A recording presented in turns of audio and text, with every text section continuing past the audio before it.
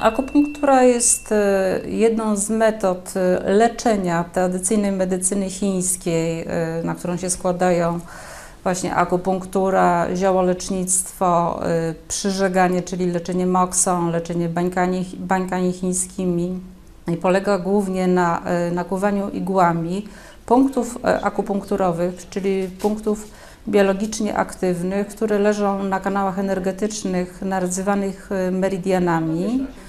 No i poprzez oddziaływanie na te punkty, stymulowanie tych punktów y, wywiera się y, wpływ, czy to przeciwbólowy, czy na działanie y, narządów wewnętrznych. System tych kanałów energetycznych meridianów to jest 12 meridianów głównych i 4 czy 8, bo to różnie jest liczone, dodatkowych Y, które y, są usytuowane na, od, począwszy od głowy do, do, do przebiegające przez tułów, do kończyn y, górnych i dolnych i one odpowiadają jakby za narządy właśnie poszczególne, czy mają swoje właściwości poszczególne punkty. Punkt akupunkturowy jest to taki szczególny punkt, który ma swoje właśnie właściwości, to znaczy jest to punkt, który ma mniejszy opór elektryczny, inny potencjał jest między punktem akupunkturowym a skórą otaczającą większą pojemność z kolei elektryczną, także posiada więcej jakby zakończeń e, nerwowych, różni się od, od innego punktu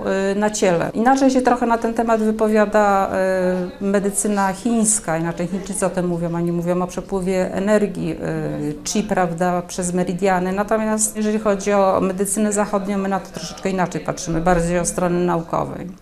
Nie jest to w każdym razie nieudowodnione naukowo, co niektórzy próbują właśnie podważyć jakby sens działania i ściągnąć to do y, medycyny y, niekonwencjonalnej. Jest to jakby medycyna naturalna, alternatywna do leczenia y, środkami farmakologicznymi.